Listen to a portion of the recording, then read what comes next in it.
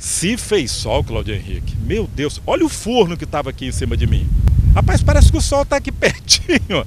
As chamas estão aqui. Está muito quente aqui. Você está falando aí à noite agora, no ar-condicionado. Meu amigo, que sensação térmica por aqui. E é nessa sensação térmica que o time é, começou os treinamentos. Começa sempre com uma palavra, uma mensagem, uma oração. E depois a movimentação para o aquecimento. O que? Aquecimento?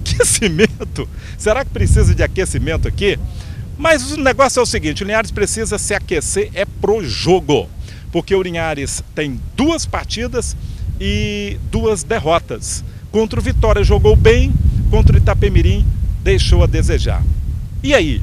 O tempo em que houve essa paralisação em virtude da crise na Polícia Militar.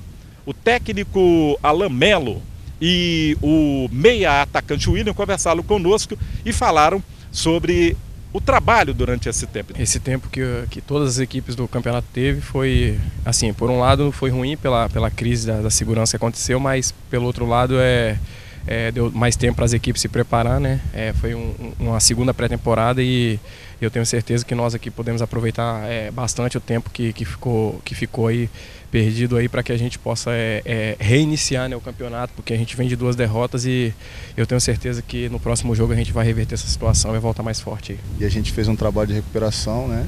Esse tempo foi bom para isso, recuperar jogadores como o Wilker, que tava, né, ainda não estreou, o William que chegou e já foi para o jogo já, né?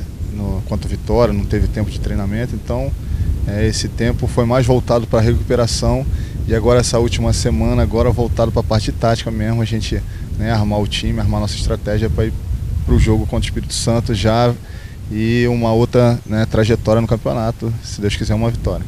Muito bem, o lembrete fica, hein? Neste sábado, a volta do Linhares à nossa cidade, a Linhares. O Linhares Futebol Clube enfrenta o Espírito Santo às 15 horas no estádio Joaquim Calmon, o nosso simpático Campo do América o Linhares tem conseguido ótimos resultados neste campo, daí a esperança de um futebol melhor. Mas o Linhares chega melhor para essa partida contra o Espírito Santo, que vem obtendo ótimos resultados nas últimas competições que tem participado aqui no Espírito Santo. Quem pode fazer a diferença?